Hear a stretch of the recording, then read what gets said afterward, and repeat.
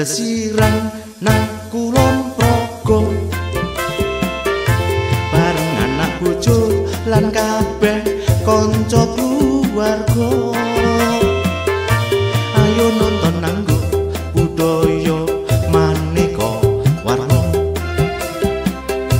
Apa indahe alam objek wisata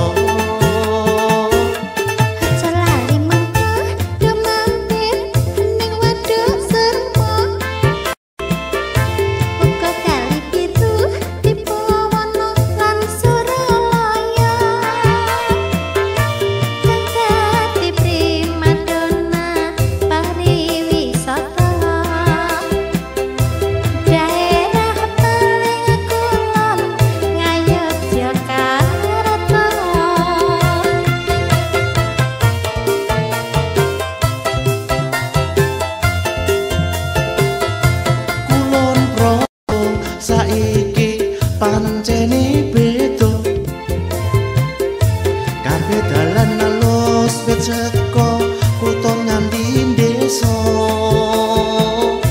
Macem-macem kulinere uga ana. Ngersake napa wonten teng kulon progo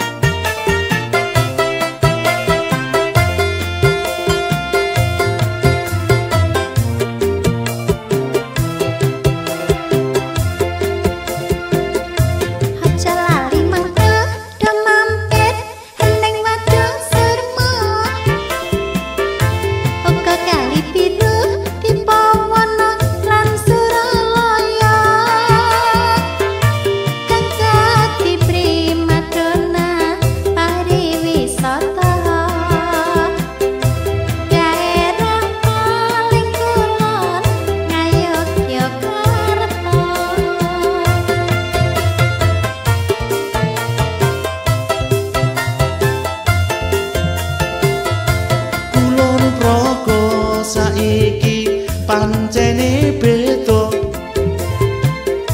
Kabeh dalan alus kutha nganti desa. Macem-macem kulinere uga ana. Ngersake napa wonten